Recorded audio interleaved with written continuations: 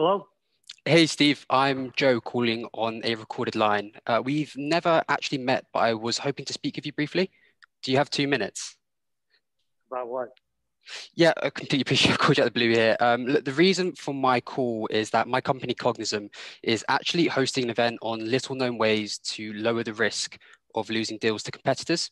So I was hoping if I could ask you a couple of questions to see if this might be relevant. Would that be okay? Yeah, no, I'm not really interested in it. Thank you. Okay, um, that's not a problem. But hey, just before we hang up, um, if I'm not too asking too much, is it because you and the team don't do much prospecting, or you hate getting cold calls as much as I hate making them?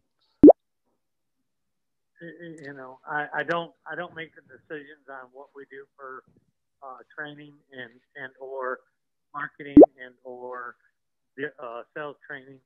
Uh, so you would need to talk to somebody else. Okay, that's absolutely not a problem. Uh, it sounds like I, I, must have come through to the wrong wrong person then. Um, but look, I, I, know it's not your job to help salespeople that are lost.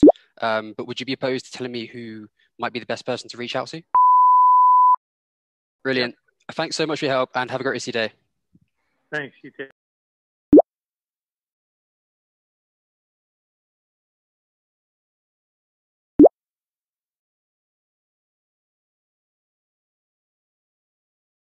Um, Joe, how did that feel for you?